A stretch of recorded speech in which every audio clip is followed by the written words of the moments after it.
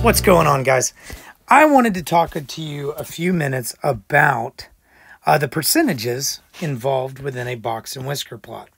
Now, oftentimes, we've been looking at these box and whisker plots now for quite a while, and we may not have known that they really tell us quite a bit of data. So, what I want you to know, and what we know is every time we make a box and whisker plot, we're given all this data of numbers that we find, we put in order. We find the minimum, the maximum, Q1, Q2, Q3, so forth, right?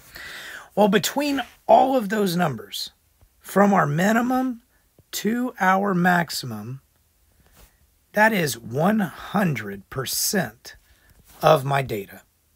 So that means if I had test scores for my class and I was looking at all my test scores, I'm going to, unfortunately, I'm going to have a lowest test score and I'm going to have the highest test score. Hopefully, they're all 100s, but unfortunately, we know that's not always accurate. Within my min and max, I know that I have some other numbers that give me really good information. Well, between my minimum and my Q1 is 25% of my data. That means 25% of my students, or one fourth of my class, will fall between the minimum score and Q1. Another 25% will fall between my median and Q1. And then between my median and Q3 will be another 25%. Well, hold up.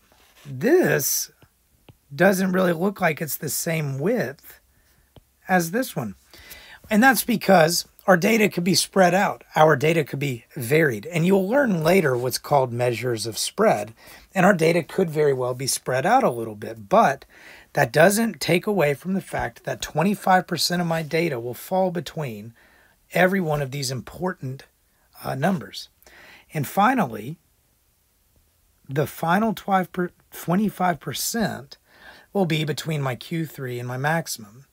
And the reason that this is important is because I can start asking questions like what percentage of my class would score between Q2, the median, and the maximum? Well, what percent would that be? Well, 25 plus 25 would give me 50%.